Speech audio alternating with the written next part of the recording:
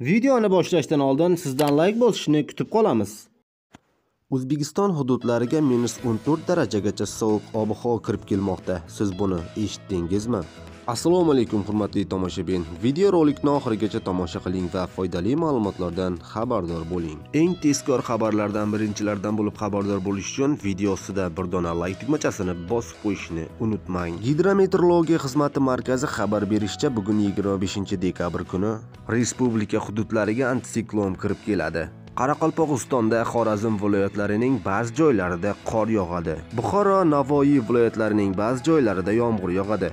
Qorga aylanishi mumkin. Toshkent, Samarqand, Jizzax, Sirdaryo, Qashqadaryo viloyatlarida kunning ikkinchi yarmida ba'zi joylarda yomg'ir yog'adi. Faqat Surxondaryo, Andijon, Namangan, Farg'ona viloyatlarida yog'ingarchilik kutilmaydi. Yakshanba kuni mamlakatning barcha hududlarida yog'ingarchilik, yomg'ir, qor bo'ladi. Shimolda yog'ingarchilik to'xtaydi. Harorat kechasi va kunduzi 2-3 daraja iliq. Shimolda kechasi 9-14 daraja sovuq, kunduzi 0-5 daraja sovuqni tashkil etadi deyiladi xabarda.